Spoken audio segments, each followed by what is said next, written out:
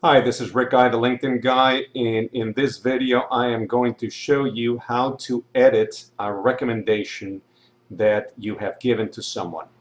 I just got a request from one of my clients saying that uh, there was a typo in a recommendation that they left and they wanted to see how to edit it.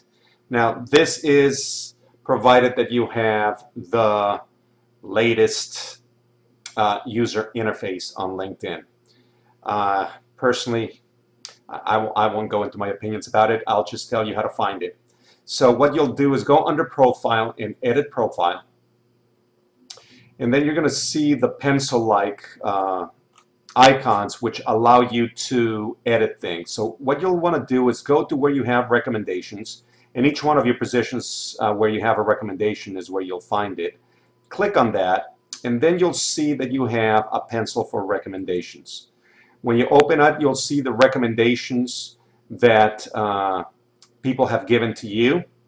And uh, in here, what you'll do is if you click on Manage Visibility, you're going to see both the rec recommendations that you received as well as the ones that you have given. So click for the ones that you have given, and then once you uh, find them, then click on Edit, and then you'll be given uh, the recommendation where you'll be able to add the edit the recommendation to change whatever it is that you need to change. That's it for this message. If you have any questions, you can reach out to me at the guy at gmail.com. Enjoy an extraordinary day.